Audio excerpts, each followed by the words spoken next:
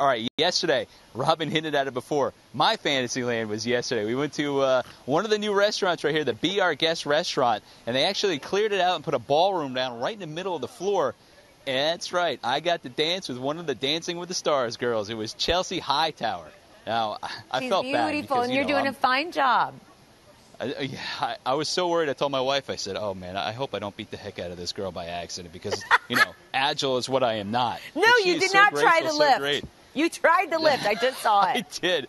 I looked at her. I said, "Hey, so when do I do the lift?" Because you know, in Dancing with the Stars, they pick these girls up, they twirl them around on their finger like a basketball, and then they drop them and all that stuff. I said, maybe I could do that. But And then she quickly booted you out of the way and got Prince Charming back in. I see. Exactly. What does this have For anything to do with the new Fantasyland? I don't get it.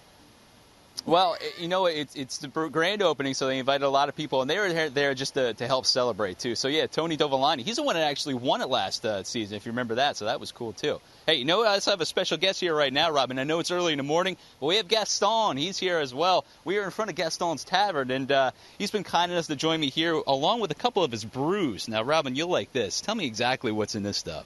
This is uh, our signature drink at the tavern. It's called LeFou's Brew. It's a frozen apple beverage with a hint of toasted marshmallow. And there's no alcohol in it, right? Family friendly. Are you sure?